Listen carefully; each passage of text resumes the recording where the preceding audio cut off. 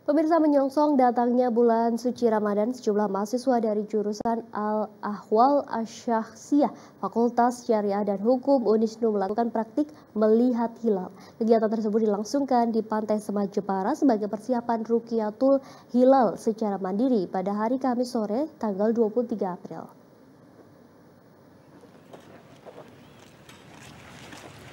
Menggunakan teropong bulan manual dan elektrik, para mahasiswa ini mengaplikasikan ilmu falak yang selama ini didapatkan di bangku kuliah.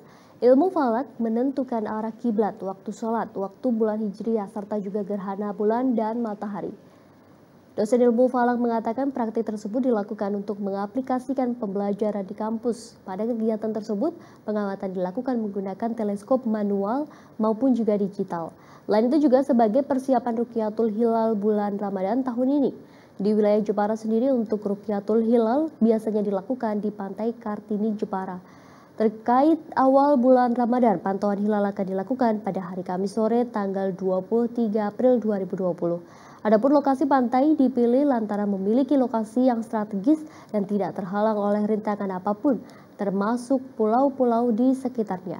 Menurut perhitungan ketinggian hilal di Pantai Semat adalah pada 3,9 derajat dan elevasinya matahari dan bulan 5,5 pada saat pantauan hilal nanti.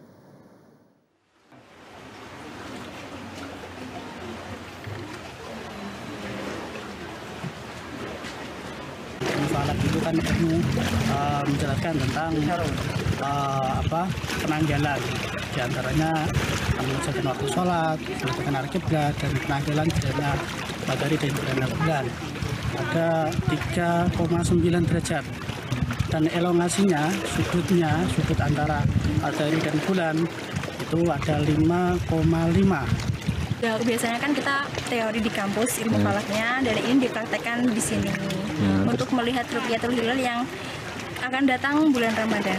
Hmm, ini alat apa saja yang digunakan, Dek? Kalau alat-alatnya di sini kita memakai teropong bintang, teropong hmm. elektrik sama yang manual.